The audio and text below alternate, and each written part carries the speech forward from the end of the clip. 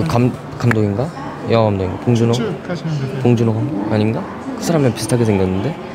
봉준호 감독? 맞습니다. 아. 어 약간 이 사람은 어, 뭐 이미지라고 하기에는 네. 그냥 그냥 영화를 잘 만든다?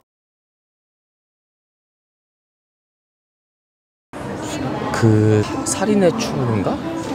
그 영화 만들 때 모두 그 인터뷰 내용 중에서 범인이 뒤에 있네요?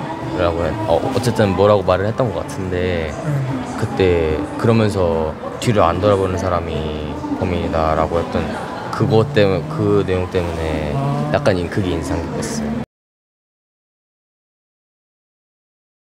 봉준호 감독님. 어 알고 계시네요. 네. 아카데미 사과망, 기생충, 기생충, 괴물, 어, 설국열차, 영화들, 네. 설국열차. 영화들이 계속해요. 영화들이 네. 그 이유는 그런 영화들을 보셨기 때문에 그렇죠. 네. 대단하신 분이다. 나오십니다. 한 그런 그 정도. 네네.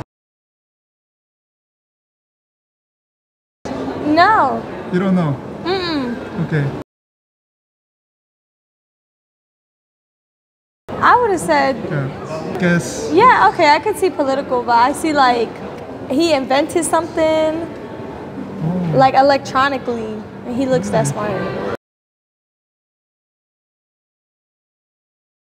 Just the the way the picture, the why he's standing like that. The, So he's yeah, like, the way he's posed and he posing. carries himself. 알죠. 봉준호 감독. 오 알고 계시네요. 송강호가 먼저 떠오르더라고요. 저는 살인의 추억 되게 재밌게 봐가지고 그래서 봉준호 감독 하면은 송강호 떠오르고 영화 괴물 떠오르고 그리고 이번에 기생충 기생충 영화가 많은 상을 탔잖아요. 약간 레벨 높은 상을 탔잖아요. 그래가지고 아 봉준호는 이제 world class구나 그렇게 생각을 했습니다.